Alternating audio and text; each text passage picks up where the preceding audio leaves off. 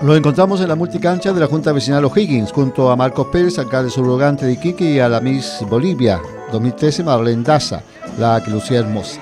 Allí conversamos con él sobre las actividades que están realizando y lo más importante, la del día 6, Día de Bolivia. El 6 de agosto se va a tener concluida la misa de acción de gracias en la Catedral de Iquique, que invitamos a todos los amigos de Bolivia, a todos los bolivianos a participar, que es a las 10 de la mañana el día martes 6 de agosto, que donde vamos a recordar a nuestros héroes.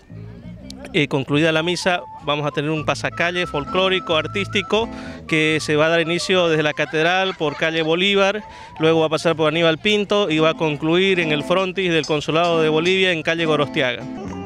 Los bolivianos residentes tuvieron la oportunidad de presenciar un buen espectáculo folclórico de un grupo iquiqueño dirigido por Rubén Vera, además de la presencia del grupo musical La Java de Cochabamba.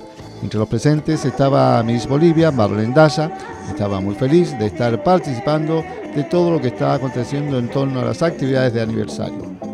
Es un orgullo para mí porque así me siento como en mi tierra. Eh, lejos de ella igual me siento muy orgullosa de participar en todas estas actividades. ¿Y ahora esta, gente que está en este espectáculo? Eh, igual orgullosa de que la gente se sienta como en casa, que, que disfrute más que todo, que todos somos hermanos y compartamos con mucha alegría. ¿Qué, la hermandad con Iquique, ¿qué significa? Eh, yo, eh, yo pienso que sí, la gente quiqueña es muy buena, nos ha recibido, la gente que inmigra de Bolivia a trabajar nos recibe con, con buena, de buena manera.